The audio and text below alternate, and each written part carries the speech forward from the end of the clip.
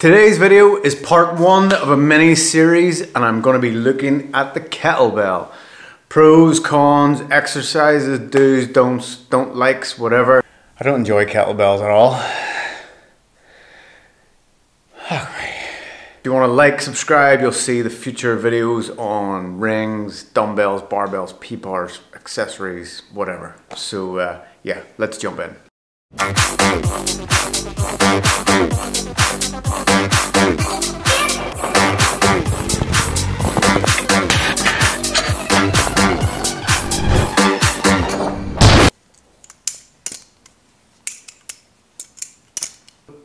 Loads of YouTubers and they start their videos like coins and card tricks and sleight of hand stuff, but uh, yeah, not for me. It's not even a real knife, it's like a practice butterfly thing.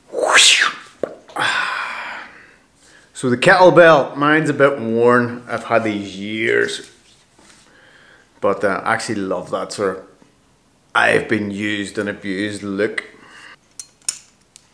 So Vladimir Putin invented the kettlebell in 1706. I don't know actually, I don't really know a lot of history of the kettlebell. I know the Russians do Turkish get-ups with them.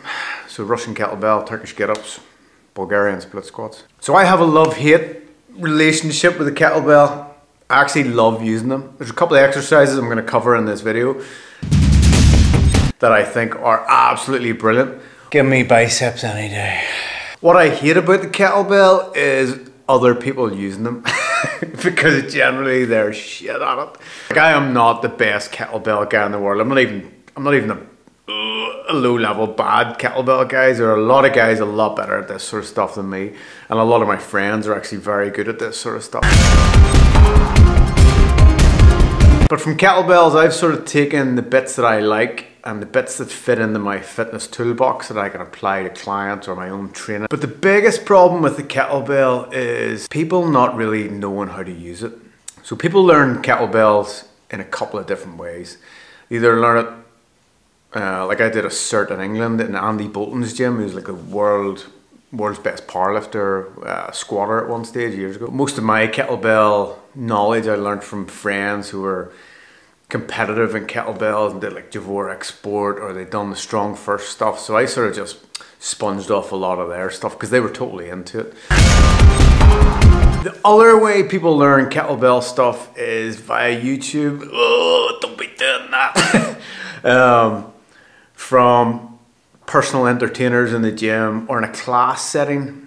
Uh, and the problem with learning kettlebells in a class setting, if the class is too big and the instructor is maybe not that good, you can miss a lot of the small details. I personally only do two exercises with a kettlebell. That's not to say that kettlebell exercise I don't do are wrong or bad or whatever. I just enjoy these two and I don't really enjoy the other stuff. So it's very personal preference to me. So what are the two exercises I enjoy? First up, we got the kettlebell swing. Now the swing is like the bread and butter of kettlebell moves. And yeah, it's the one that's probably done the worst out of everything.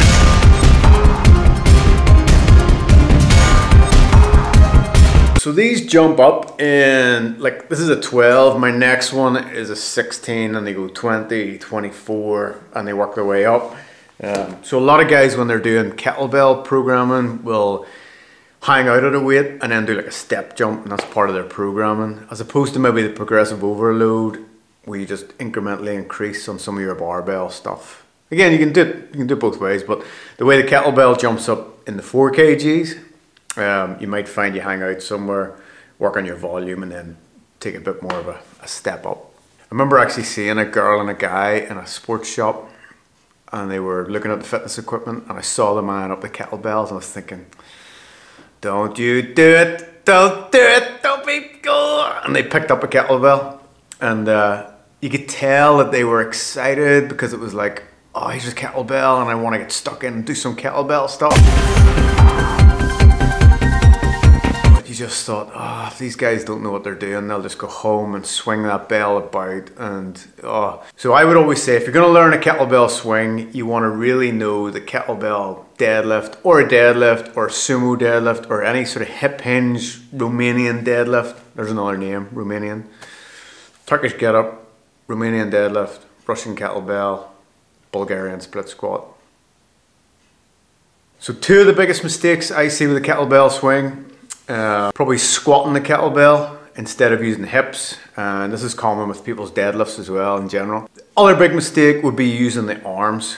So trying to lift the kettlebell when really the arm should just happen to be attached. It's the hips that are generating the force, not the the grip. And you'll see some of the like the, the CrossFitters would do the American kettlebell swing, and there's another one, the American swing. So you got the American kettlebell swing, Bulgarian split squat, a Turkish get up, a Russian kettlebell.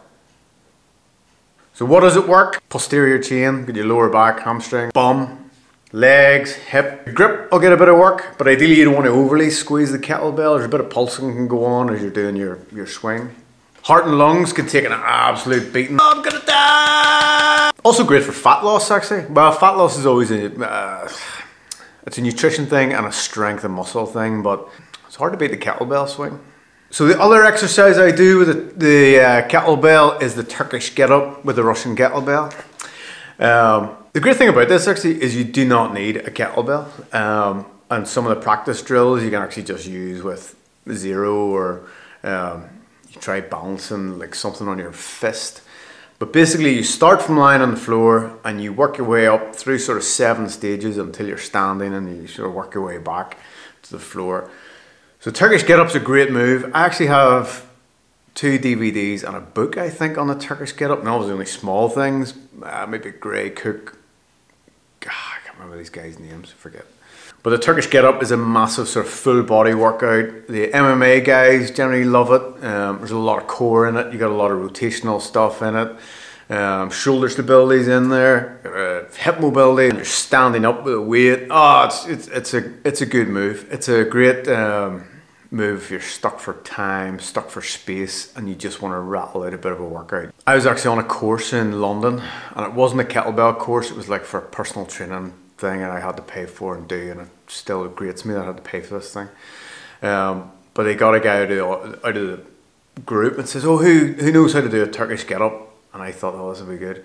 Um, and this English guy sort of got out and um, he did a complete bastardization of a Turkish get up. And I always thought, it's crazy how much these guys don't know. Kettlebells is one of those things where the more you get into it, the more you realize how much is in it and the more you just it, it's massive. Say I like to pick the bits that I think apply best in my own workouts, my clients' workouts, and the type of guys that I work with. There actually is a third exercise I really like, which is the goblet squat. Um, for people who can't really squat a barbell or shouldn't squat a barbell yet, and they need to understand squat mechanics, a goblet squat. Actually, I have a fourth. No, I don't. I'm not going to go any further because I'll end up just doing a whole YouTube video on every kettlebell exercise and why you should do them.